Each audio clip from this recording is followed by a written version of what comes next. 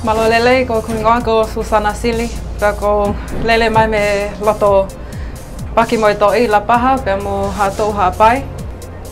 Ko kungoa ko Sone Biseri. Ko e whae me me yafu mo makawe o baba olahi. Ko e tangata eiki, me ha asini, tumatapu. Malo lele ko kungoa ko Paula Ake. Ko lele mai me longa teme.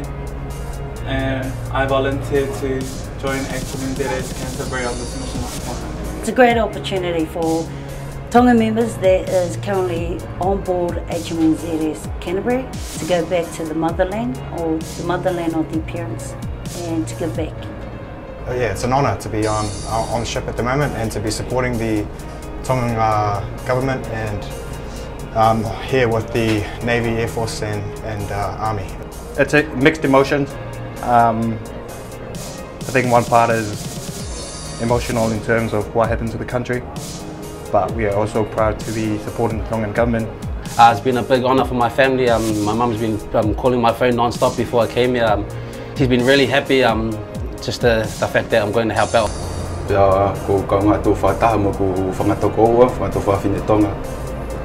O ko maloto ngā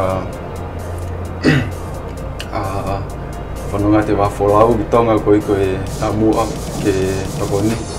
Ke toko ni e kāinga pēwha ke whāmiri.